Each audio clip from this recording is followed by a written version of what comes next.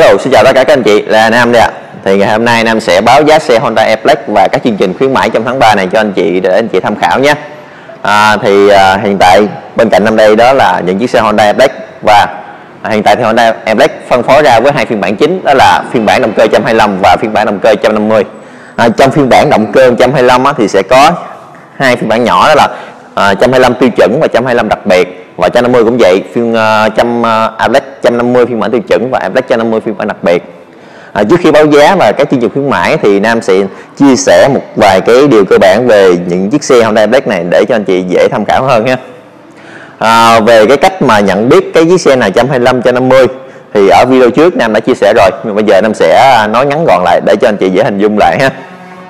À, đặt một cái trường hợp đó là gì ạ Nam là một người đi mua xe Nam không biết gì về chiếc xe Apple hết Nam không biết nó có bao nhiêu màu. Thì làm sao để phân biệt chiếc xe nào là 125 và 150 thì Nam sẽ chỉ cho anh chị một trong những cái đặc điểm về ngoại thất bên ngoài. Chúng ta sẽ nhìn vào một trong những đặc điểm này là biết chiếc xe này là 125 hay là 150 và ở đây vấn đề là nó chỉ áp dụng cho những chiếc xe zin thôi nha anh chị những chiếc xe trong hãng thôi. Và nhiều khi một số anh chị mua xe về anh chị độ lại thì vấn đề đó hơi khó nói ha.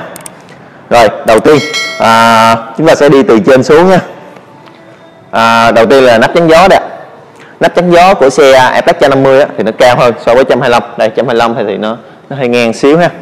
Camera có thể là gần đây xíu đó. Đó. Rồi 150 thì nó cao hơn. Đây cái điểm thấy dễ thấy đầu tiên. À, tất cả phiên bản luôn 125 tiêu chuẩn hay đặc biệt điểm vậy. À, nó sẽ khác với 125 uh, 150 tiêu chuẩn và đặc biệt. Đó, nó khác nhau. Đầu tiên là cái chắn gió nè. Cái thứ hai là dễ thấy nhất là gì ạ?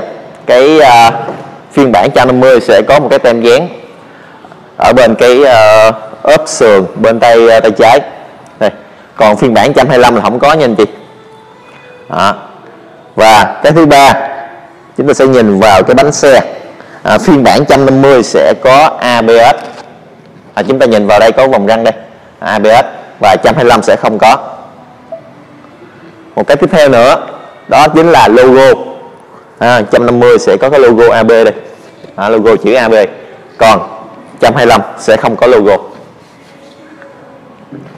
À, và có một điểm dễ phân biệt nữa là chúng ta có thể nhìn vào cái ờ, cái yên xe nếu mà yên xe hai tông màu đó là 150 còn yên xe một tông màu đen là 125 à, thường 150 sẽ phối hai tông màu với nhau.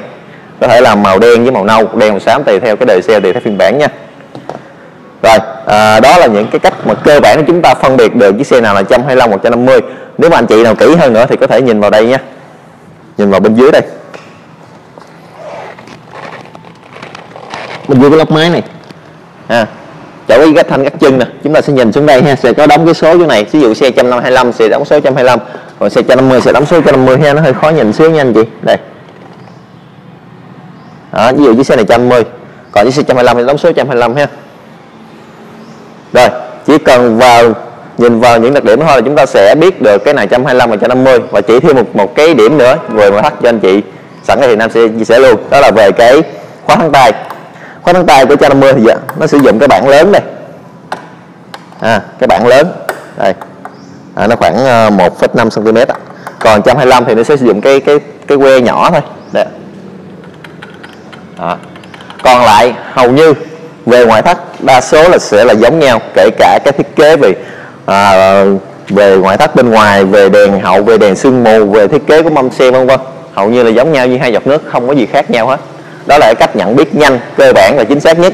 Đối với uh, chúng ta sẽ biết được chiếc xe nào là 125 và 150 khi nhìn vào một trong những đặc điểm trên mà Nam vừa nói. Rồi à, trở lại vấn đề ha. Nam sẽ báo giá cho anh chị để anh chị tham khảo ha. À, đầu tiên là chương trình khuyến mãi. Hiện tại thì trong tháng 3 này à, giữa tháng 3 đến cuối tháng 3 thì anh chị mua xe Honda Airflex kể cả hai phiên bản luôn 125 và 150 sẽ được hỗ trợ ở công ty Nam là sẽ được hỗ trợ là giảm trực tiếp giá một triệu rưỡi đồng. Thì Nam xin phép được báo giá luôn ha. À, để anh chị dễ nắm bắt thì Nam sẽ trừ trực tiếp một triệu rưỡi vào giá luôn. Nam báo trực tiếp cái giá giảm rồi cho anh chị dễ nắm bắt. Đầu tiên là phiên bản 125 tiêu chuẩn bản thấp nhất. Đang có mức giá sau khi giảm chương trình khuyến mãi một triệu rưỡi rồi là còn 39 triệu à, phiên bản tiêu chuẩn 25.39 triệu. Phiên bản thứ hai 125 nhưng mà phiên bản đặc biệt chỉ có một màu duy nhất là đang đang nhám thôi. Thì xe này đang có mức giá là 41 triệu sau khi đã giảm triệu rưỡi rồi 125 đặc biệt 41 triệu. À, phiên bản thứ hai là phiên bản 150 à, 150 tiêu chuẩn thì đang có mức giá là 52 triệu. Và cuối cùng phiên bản 150 đặc biệt giá cao nhất đó là 53,5 triệu đồng anh chị lưu ý ha giá năm báo đã, đã bao gồm thuế giá trị gia tăng nhưng chưa bao gồm phí đăng ký. Anh chị ở khu vực nào thì chúng ta sẽ có mức phí đăng ký ở khu vực đó. À, có một số anh chị à, hỏi nam là giá xe nhiêu? Thì nam chỉ báo là cái giá là cái giá chưa có phí đăng ký thôi thì nó không biết là anh chị ở khu vực nào. Ví dụ anh chị ở huyện thì thuế nó khác anh chị ở thành phố thành phố thì thuế nó khác. Thì tùy mỗi khu vực anh chị ở thì chúng ta sẽ có mức phí đăng ký khác nhau thì nó sẽ ra cái giá khác nhau. À, ví dụ anh chị nào thắc mắc về vấn đề này thì có thể à, liên hệ trực tiếp với nam qua số điện thoại hoặc là inbox zalo cho nam. Nam sẽ hỗ trợ anh chị một cách tối đa nhất. À, ngoài ra khi anh chị mua xe ở công ty nam thì ờ, còn có những phần quà từ công ty. Ví dụ như là mũ bảo hiểm nè móc khóa xe áo thun hoặc áo mưa áo đậy xe và phiếu không trúng thưởng vân vân. À, đặc biệt nếu mà anh chị tìm gặp đến Nam sẽ được nhận được sự hỗ trợ đặc biệt từ phía riêng của Nam đó nha anh chị.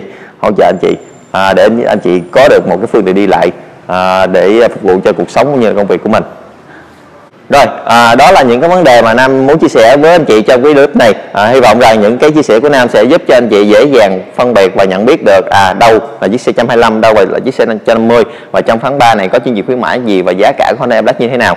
À, bây giờ thì Nam xin phép kết thúc video tại đây nhé. Nếu anh chị cảm thấy video nào ích thì nhớ đăng ký kênh của Nam để ủng hộ cho Nam cũng như là cập nhật những thông tin mới về xe và các chương trình khuyến mãi. Nam sẽ cố gắng cập nhật liên tục những cái chương trình khuyến mãi và giá xe mới nhất để anh chị tham khảo. Ngoài ra thì Nam sẽ cung cấp thêm những cái video nói về những chiếc xe mới của Honda mình. Hoặc là anh chị có nhu cầu về những chiếc xe nào thì có thể inbox với Nam Nam sẽ quay để cho anh chị xem. À, bây giờ thì Nam xin phép kết thúc video tại đây nhé. Cảm ơn anh chị đã theo dõi video của Nam. Hẹn gặp lại các anh chị vào những video tiếp theo nhé.